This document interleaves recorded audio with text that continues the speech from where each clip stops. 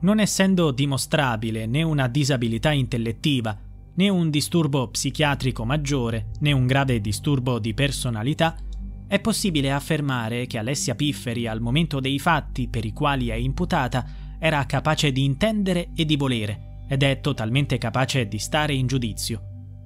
Questa è la conclusione a cui è giunto Elvezio Pirfo, lo psichiatra nominato dalla Corte d'Assise di Milano per la perizia psichiatrica su Alessia Pifferi, la madre milanese sotto processo per l'omicidio volontario aggravato di Diana, la sua bambina di 18 mesi.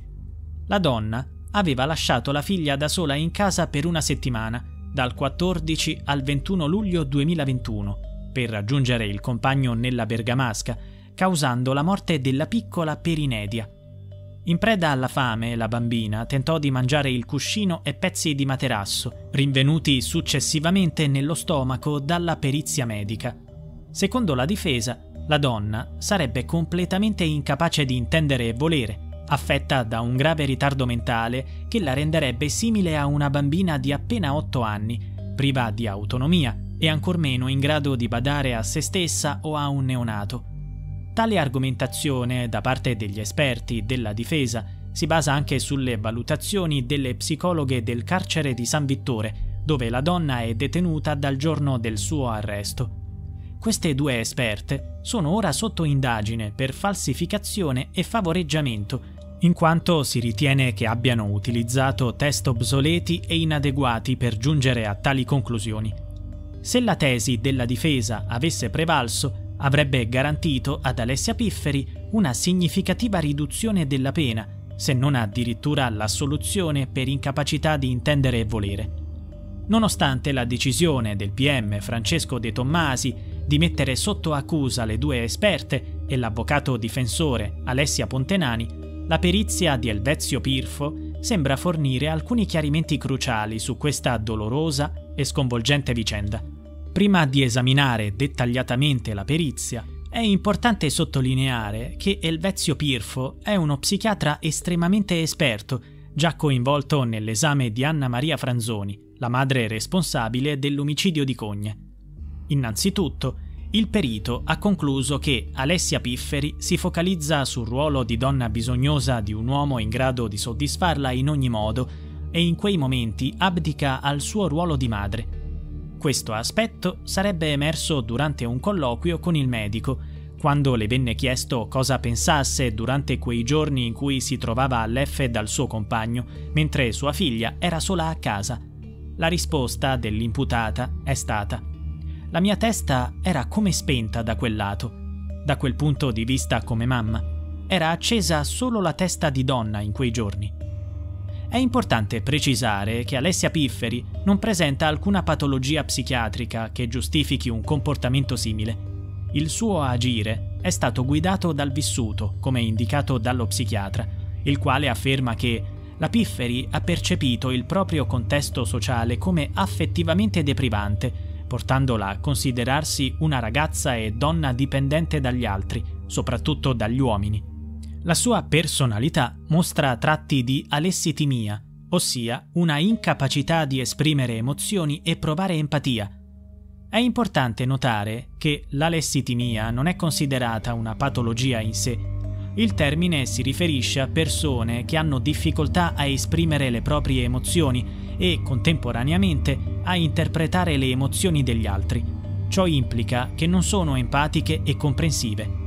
Secondo la psichiatria moderna, questa condizione non compromette la capacità di comprendere. Inoltre, lo psichiatra afferma il suo funzionamento mentale è coerente con il suo grado di acculturazione ed esperienza. Nel primo incontro, avvenuto il 6 dicembre 2023, Alessia Pifferi ha condiviso dettagli sulla sua infanzia, spiegando di non aver mai instaurato rapporti positivi con la sorella. Già da piccola sono sempre stata messa di lato. Allora io sono una bambina cresciuta in famiglia, solo che sono sempre stata il pulcino nero di casa, anche se mi sono sacrificata tanto per stare in casa, per mamma, perché nel 2000 ha avuto un incidente. Successivamente ha chiarito di non avere mai sviluppato un autentico legame affettivo con la madre, ma unicamente con il padre. Io ero la cocca di papà e mia sorella era la cocca di mamma. Ha ricordato le liti tra i genitori. Mio papà non si sa dove buttasse i soldi e ogni volta erano discussioni o mani addosso e io ero lì ad assistere. Quindi ha parlato delle sue difficoltà relazionali con la scuola e ha rivelato di essere stata vittima di abusi perpetrati da un amico di famiglia proveniente da Palermo durante la sua adolescenza. Ha narrato le vicissitudini del suo matrimonio, terminato, sembra, a causa di un presunto aborto spontaneo. Poi ha affrontato il tema della nascita inattesa e improvvisa della piccola Diana, avvenuta nel bagno della casa del compagno. Pur essendo il racconto ricco di dettagli, manca di qualsiasi forma di empatia. Ecco il resoconto. L'ho chiamato d'urgenza, presi il telefono e gli dissi vieni su che è nata la bambina. È nata proprio nel suo vicino, nel suo vater. Avevo paura, ero spaventata, terrorizzata, anche perché non sapevo di essere incinta.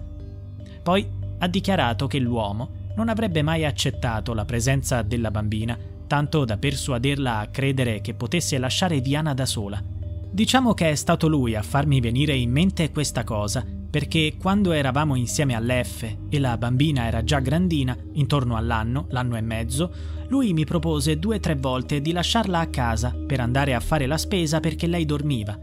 Il professionista di psichiatria le ha domandato se la nascita di Diana avesse comportato un cambiamento nella sua vita la sua risposta è stata chiara e senza ambiguità. Quando è nata la bambina dentro di me mi sono trasformata in cuore di mamma. Ho accettato la cosa e comunque è stata un'emozione e anche se la bambina è arrivata all'improvviso, sono riuscita ad accettare la realtà di cosa succedeva. Mia figlia era sempre con me, non mi staccavo mai. Quando siamo tornate a casa con mia mamma ero anche gelosa se la prendevano in braccio. È stato difficile. Dunque, secondo quanto affermato dalla donna, il suo comportamento subiva variazioni quando si trovava in compagnia del fidanzato. Il perito cercava di comprendere cosa fosse accaduto nel momento in cui ha dimenticato la presenza della bambina portandola a un tragico destino. La sua spiegazione è quando ero con quell'uomo, lui aveva il potere e la mia mente era come spenta, annullata, nel senso che perdevo lucidità come mamma aveva questo potere. Quando lui è rientrato nelle nostre vite, la mia mente si è come spenta verso la bambina. Quando stavo con lui, mia figlia spariva dalla mia mente ed era strano perché io ero una mamma protettiva, lei stava sempre con me anche in bagno.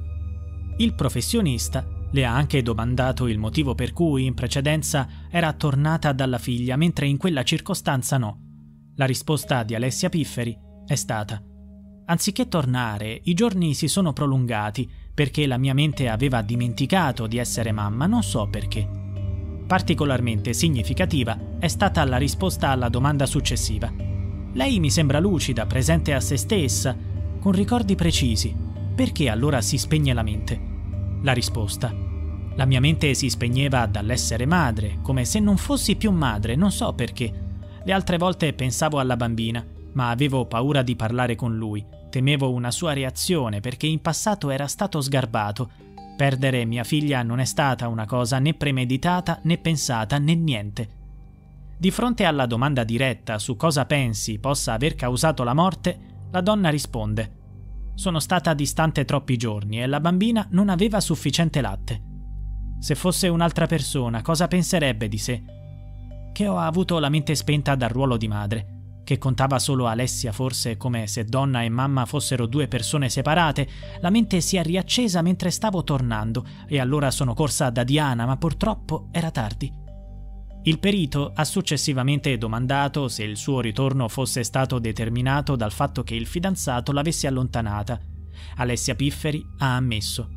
Sì, mi ha detto che doveva lavorare. Io pensavo di trovarla viva, speravo lui facesse da padre a lei e a me, ma poi mi è venuto il dubbio che Diana potesse star male, solo mentre tornavo. L'esperto Elvezio Pirfo ha commentato anche l'operato delle due psicologhe di San Vittore. Ha confermato quanto già affermato dagli esperti dell'accusa, ossia che i test sulla disabilità condotti in carcere all'imputata per dimostrare un grave deficit intellettivo non sono stati eseguiti con una metodologia corretta e pertanto sono considerati inaffidabili. Questa posizione è stata ribadita anche durante l'ultima udienza del 4 marzo. Infine ha tratto le sue conclusioni.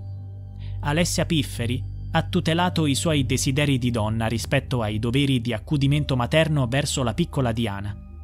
La prospettiva di una condanna all'ergastolo è evidente. Inoltre il PM Francesco De Tommasi insiste sulla possibilità che la difesa e le psicologhe del carcere l'abbiano influenzata, sottolineando che quest'ultime sono, come già menzionato, oggetto di indagine. Nell'ultima udienza ha dichiarato vi fornirò la prova nero su bianco che Alessia Pifferi ha fatto delle affermazioni che sono precostituite e che sono state imbeccate. Gelo con Alessia Pontenani che assicura l'imputata non voleva uccidere la figlia. Come finirà?